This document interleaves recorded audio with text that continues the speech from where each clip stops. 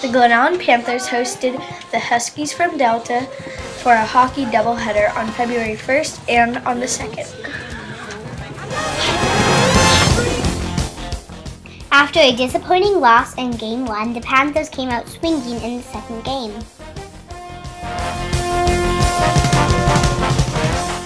On the first shift out, Elijah Waters makes a great backhand pass to a wide open Samuel Foyle for an early 1 0 lead.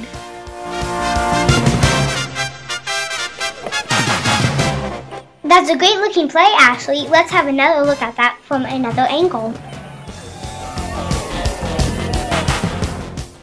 Later in the first period, Chris Habecker breaks up the Husky breakaway and in the process gets called for interference. On the penalty kill, Elijah gets behind the defense on the breakaway. The goalie blocks the first shot, but he can't block the second shot as Christopher Springs stuffs in the rebound for a 2 0 lead. Still in the fourth period, Darren Wood goes to the penalty box for interference.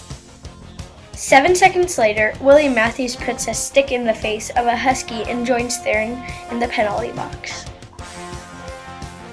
Panthers are now at a 3 to 5 disadvantage. No problem. The Panthers play for almost 2 minutes with only 3 players and only give up 1 shot and 0 goals.